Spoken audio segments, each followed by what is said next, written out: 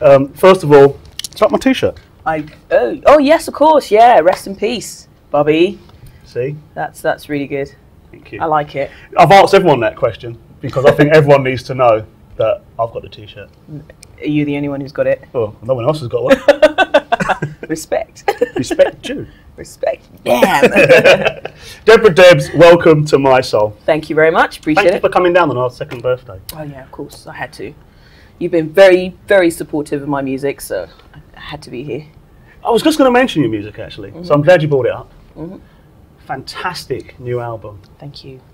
When did it all start? When, tell me all about it. Um, it started. Well, I started working on the album in 2011, and then worked on pretty much 70% of the tracks. Took a break all year 2012, and then released it last November.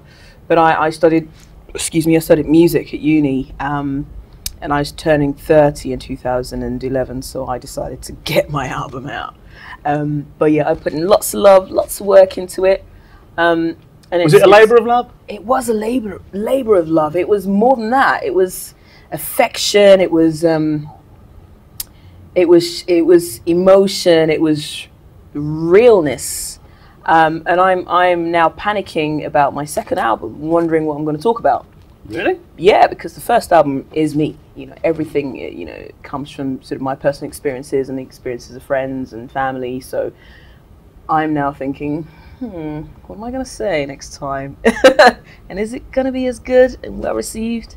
Um, it happens with a lot of um, artists. You know, your first material is just you know on the money, excellent stuff, and then your second material is like, uh, you just released it because you wanted to release it, didn't you? but um, I'm going to try and take my time and, and do something as good. So, who was influencing you when you were thinking of putting the album together? What sort of things were you listening to? Um, I was listening to. Can I just turn you around? Yes, of course. Yeah, So- I was listening to um, to jazz. Um, I'm a big fan of um, Ella Fitzgerald, but I used to listen to the likes of um, um, Louis Armstrong, Chet Baker, Sarah Vaughan. Not so much now because um, my music is is a mesh of soul and jazz and R and B and '90s grooves. I was a big fan of Boyz II Men, um, but when I was working on the album, I listened to a lot of Jill Scott because I'm probably one of the biggest fans. Um, I listened to um, Rahsaan Patterson, um, and I think one of one of the tracks on the album called um, um, I think it's Caught Up. I do some humming over the chorus, and I grabbed that from him because I thought this is this is just like insane. Nobody nobody pays attention to you know the nitty gritties of finessing you know a track. Um, so that was that was good. Um, but I listened to Michael Jackson. I listened to R. Kelly. I went back to you know Ella Fitzgerald. Um, I listened to I listened to a lot lot of gospel as well. Okay. Um, I can hear so- the gospels in your Oh. in the track. Oh yes, of course, yeah, T- definitely lots of gospel um, and um, sort of Afrobeat um, music. So I, I wanted it to be um, um, not too obvious, but I wanted people to listen to the album and go, "Oh, I can hear R and B, I can hear soul, I can hear jazz, I can hear um, a bit of gospel, I can hear this artist and that artist and that artist," and not replicating the artist, but sort of being influenced by them. Um, to cut a long story short. So, who helped you when you were putting the album together? Who who was producing, and or was you doing it all yourself? Or who Um, who got involved in the project? Well, I mean, financially, it was it was it's all come from my pocket, but um, Most good albums do. yeah, of course, every every independent artist, you dip into your pockets and get your album out. Um, but I worked with a, an, an artist, um, a producer called Oscar Steeler, and he's he's well known in the soul community in the UK, and he does uh, Troy Bar and Tuesday nights. Uh, Polish dude, about six foot two or three, bald headed, tattooed, and you would never know, but he's just like the biggest bear ever. Um, and um, another friend of mine called Precious Abimdi worked on one of my tracks called Speeches. And I contacted a guy called um, Dwight Goodman in America to work on a track called, uh, one of the tracks called Blew Your Mind. Um, so those are the three main producers. Um, and then towards about two weeks before I released the album, um, I worked on a track called Awake With You with um, a guitarist friend of mine called Lecken. And my keyboardist called Tony. So those are the five key guys who sort of brought their musicianship into the album. But obviously, a lot of the writing is me, and you know, sort of directing where I wanted the tracks to go. Um, obviously, comes from me. So let's go back to your background. I mean, where, where, where were you born? Where did you grow up? Um, I was born in Cameroon, Africa, West Africa. We share a border with Nigeria. That's my claim to fame because no one knows what Cameroon. Where are you? Uh, Yeah, we share a border with Nigeria. Like, oh yeah, Oh, I know yeah. where Nigeria. Yeah, yeah. okay, well yeah, Cameroon is right around the corner. Um, but I was yeah, I was born in Cameroon and I came here in 2000 um, to study film Yeah. and drama. Uh, I didn't like it, so I ended up doing music. Um, so yeah, I've been here 14 years. How did you get involved in singing in the first instance? you came to do film and drama, but know, suddenly yeah. you're, you're bringing out an album. How yeah, it's, it's it's quite bizarre. I mean, I was in um, in Cameroon. I went to an an all girls boarding school and it was a missionary school, and you know we sang every day. And I joined the choir when I was thirteen. Uh, I was in a sort of girl group, and we would write our own songs. Uh, we would learn to harmonize and lots of vocal training.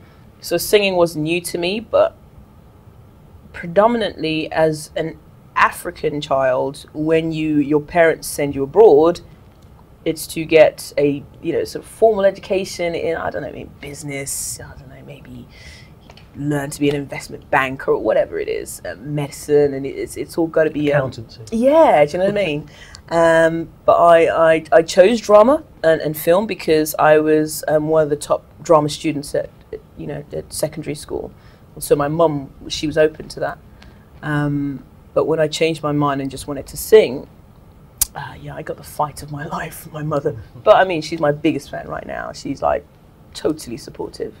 And and how has the album been perceived by, you know, your peers, your family, and Yeah, it's people respect respect the effort.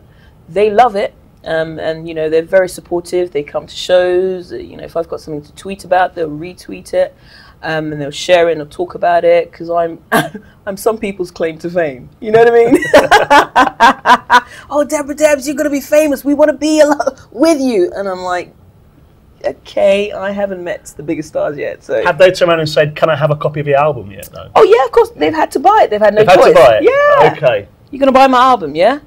That's, that was my next question then, where I was going to say, "Can I have a copy of your album?" But never mind. Well, you've gotta buy it. Got to buy it.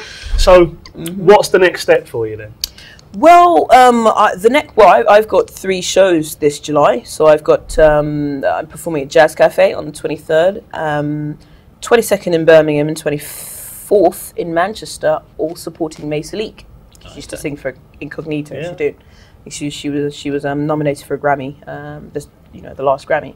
Um, so I um, I'm going to be supporting her, and I'm really looking forward to those. I've just released a uh, video for one of my tracks called Sometimes. Uh, two days ago, I put it up on YouTube. Uh, it's been it's been well received. Um, and then I've got a few shows coming up abroad. I'm going to keep quiet about those for now until they're fully confirmed. And then I will be working on the second album. You're going to start immediately on the second album. Well, Strike maybe in about two months. Yeah, I'm, I'm gonna. Yeah, maybe in about two months because I started working on the first album three years ago. So I I need to start working on this album. So I released it in 2017. I'm only joking. I hope we get it a bit sooner than that. Actually, I, I can sing a little bit, Can and I'm thinking if I can do a bit of a, like a little duet on the album, or, or come and do a little something, because there's a saying, you know, write a note and you're in for the ro- royalties. So I need to audition you though. really, Yeah. okay, that's ruined we'll have to set a date. That's blown it. I'm sure you can sing. I'm sure you can sing. No, I, Everyone's can't, got. I can't sing a note. Have you got a trainable voice? Do you know if you have a trainable voice? What's a trainable voice? Well, some people when they talk and hum and you know attempt to mm-hmm, sing, you can Mhm. tell. Well, yeah, I think you have a trainable voice. You reckon? Yeah, So do you think you You can train in me to sing? yeah. Can I hum? Go, Amazing Grace. you You need to you need to sing it. no, you're not going to get me singing on camera because Tom will just laugh It's all loudly. it's all good. So it's our second birthday. Yeah, well done. Would you like to sing "Happy Birthday" to myself? Why not? Crack on. Do I face the camera? Be nice. Happy birthday to you. Happy birthday to you. Happy birthday, dear Mi-Soul. Happy birthday to you. Very birthday. much. You're very welcome. Cheers. Thank you so much. I will